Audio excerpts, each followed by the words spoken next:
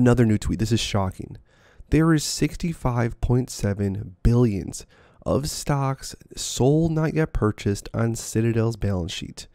To put into perspective, that is 0.22% of the total value of the US stock market, which is worth around $15 trillion. Mathematically, let's explore with this some more. This may not seem like a lot, but 0.22% of the entire market that's not even bought back yet.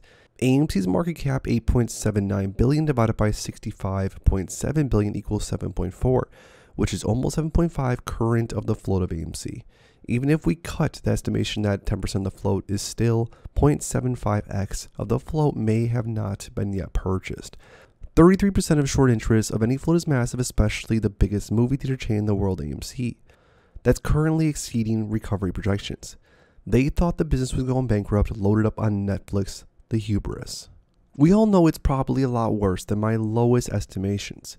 Catastrophically worse. I've seen a lot of monsters in my life. I may be a monster myself, but I have never seen people so greedy that they would burn down the entire world economy so that they can have infinite money.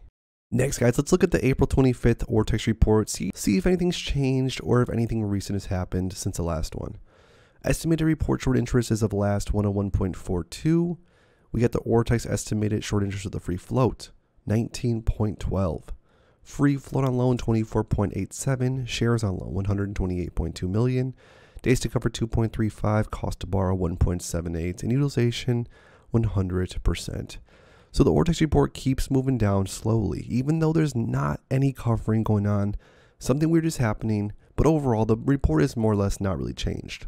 But if you want to stay up to date with everything else that's going on with AMC, because trust me guys, there's a lot more to go through, make sure to please subscribe to my channel with notifications turned on so you never miss out on an up and coming video.